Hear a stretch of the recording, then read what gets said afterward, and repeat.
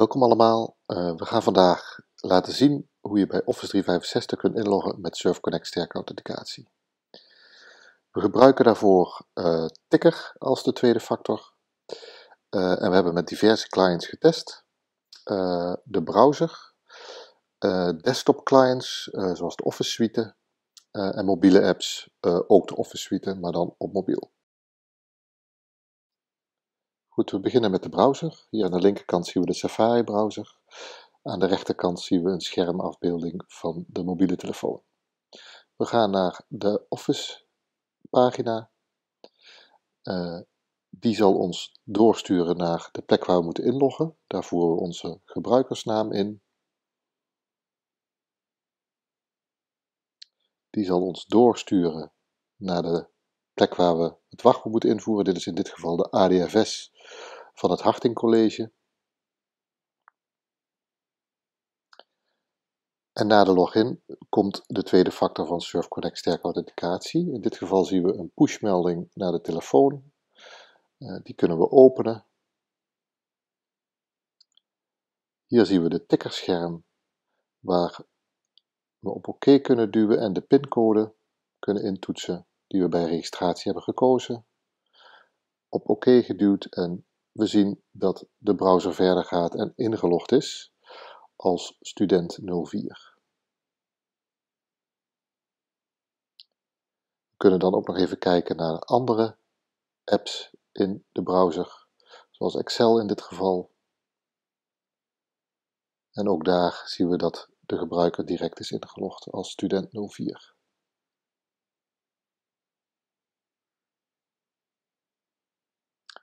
We gaan nu verder met de Outlook op de desktop.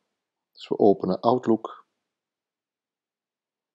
Daar vullen we in eerste instantie onze naam in, onze loginnaam. Wederom student 04. Ook in dit geval wordt geredirect naar de ADFS van de instelling zelf, in dit geval weer Harting College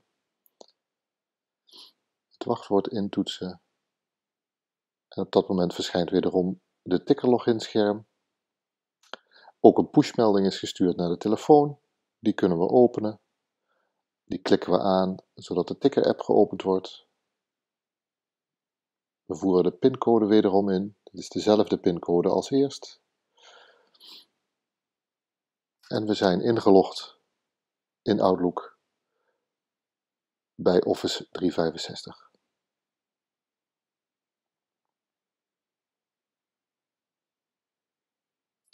We zien hier inderdaad dat de mailbox van student 04 geopend wordt.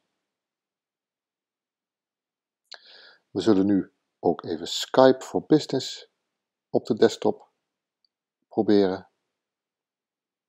Hier geldt weer hetzelfde, student 04 als gebruikersnaam intoetsen.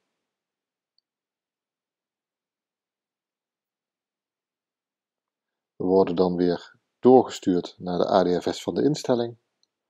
Die zal het wachtwoord weer controleren.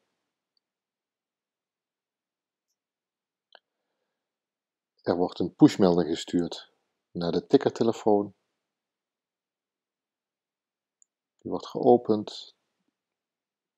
Toets de pincode weer in. En we zien dat Skype for Business doorgaat met de login.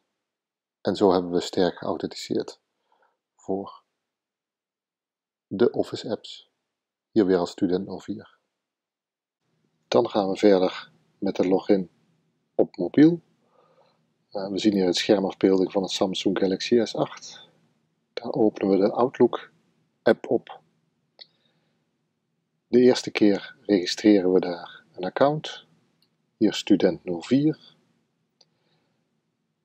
Office 365 zal ons dan redirecten naar de plek waar we ons moeten authenticeren. Dat is in dit geval weer de ADFS van het Harting College. Daar vullen we het wachtwoord in.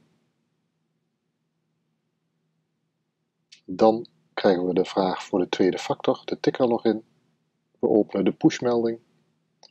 Ticker zal openen. Hier vullen we dezelfde pincode in. En dan is de login geslaagd. Dan gaan we weer terug naar de Outlook app. Die zal verder gaan met inloggen.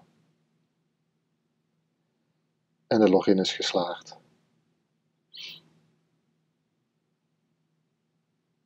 En we zien hier dat student 04 een account heeft in de Outlook app. We zullen ook de login op Word even laten zien. Hier melden we ons wederom aan met ons student 04 account. En wat we dan zullen zien is dat we niet meer hoeven te authenticeren. Tussen de verschillende Office apps op de mobiel is single sign-on geïmplementeerd door Microsoft.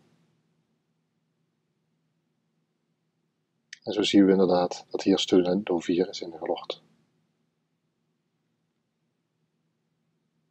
Dank u wel. Voor meer informatie kunt u mailen naar info.surfconnect.nl